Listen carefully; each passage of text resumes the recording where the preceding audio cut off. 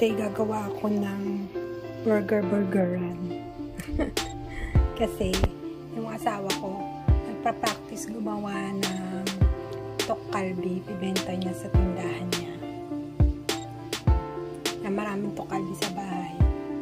Eh, ang hirap ulamin na lang palagi. Kaya naisipan kong gumawa ng uh, burger. Lalagyan natin ng cabbage. Akong kamatis, kaya lalagyan ko na lang siya ng tomato ketchup, mayonnaise. Masarap din kapag may onions and uh, cheese. Yung ibang uh, tokalbi, ilagay ko dito gagawa ako ng pude-tige. Nagluluto ito. Papakuloyin ko yan maya maya. Slice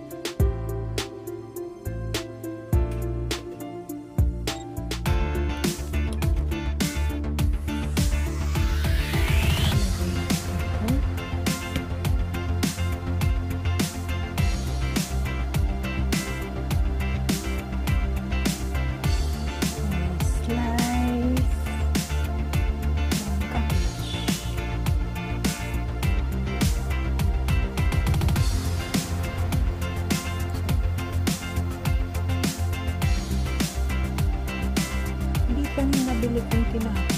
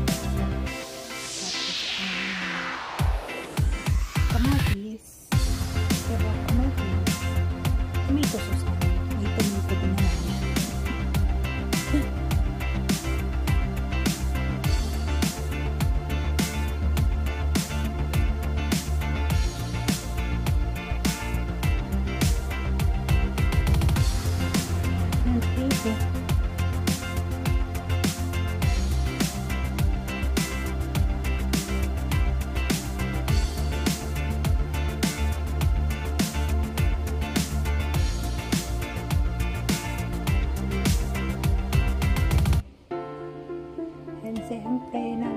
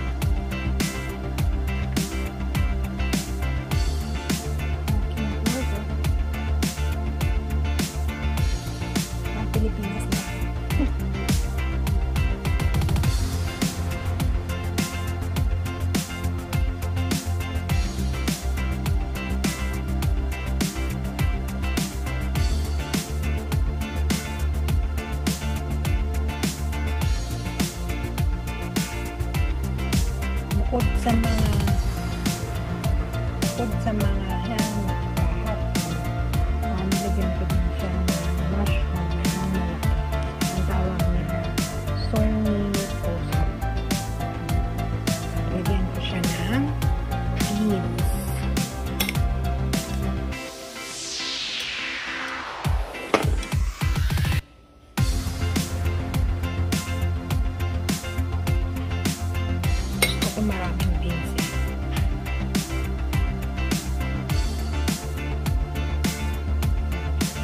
Kahit isang kutsara, okay na rin. O kasi pag bumibili ako ng beans, isang lata palagi.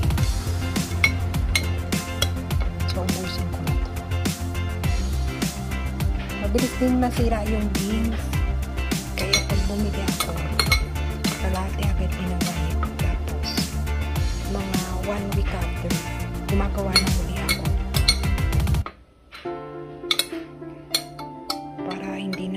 na sasayang yung beans kasi nasisira agad siya, natatapon ko lang. Yan, may beans na siya. Tapos gagawa tayo ng sauce.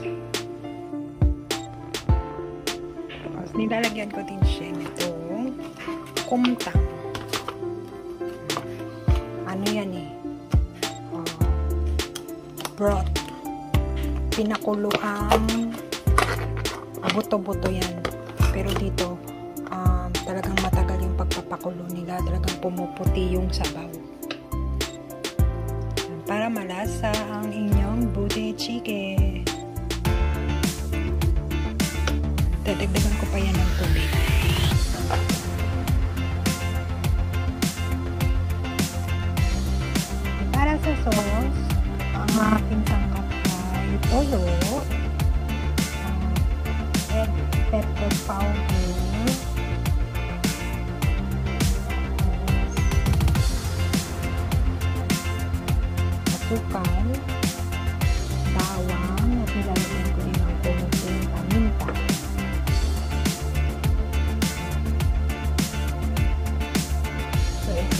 ito, malaking kutsara itong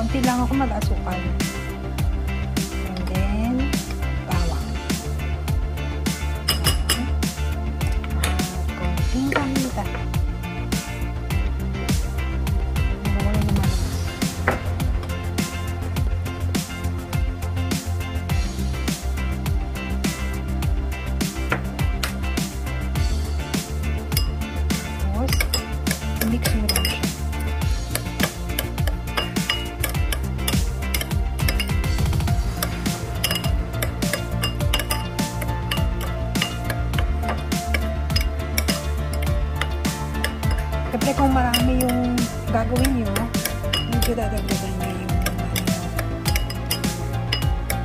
yung pang lasa. Ang tawag dito sa Korea, yang yun.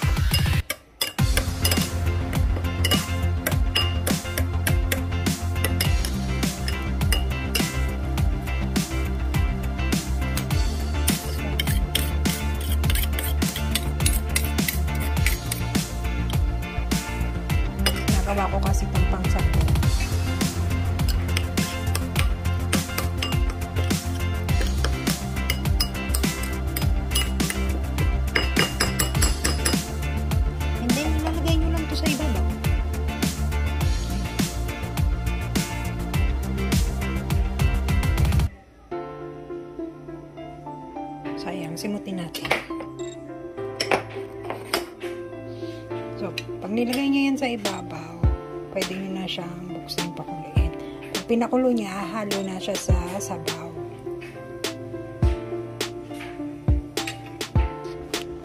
Ayan, lalagyan ko pa siya ng tubig.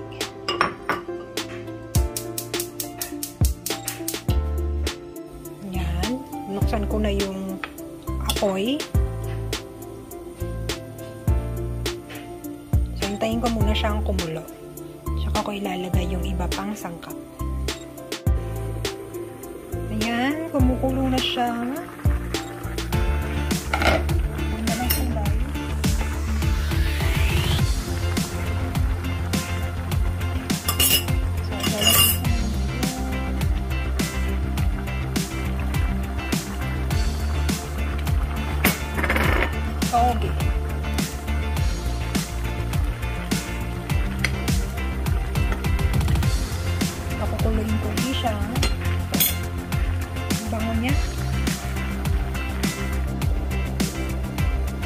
Onion leaves.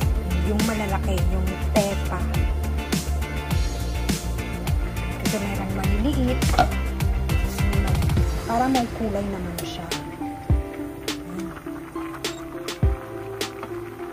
Kulong-kulong na siya. Pwede ko na ilagay ito.